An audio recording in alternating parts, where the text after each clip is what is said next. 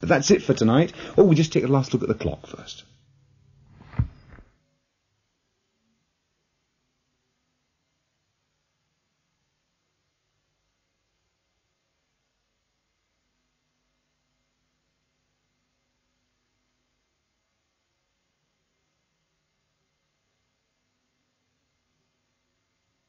And it's just 25 to 1. Well, as I say, that's it for Saturday night. Hope you enjoyed our programmes. Do join us again tomorrow night, but until then, on behalf of all our staff here at the TSW studios in Plymouth and the IBA staff at our transmitters, this is Ian Sterling wishing you all a very good night.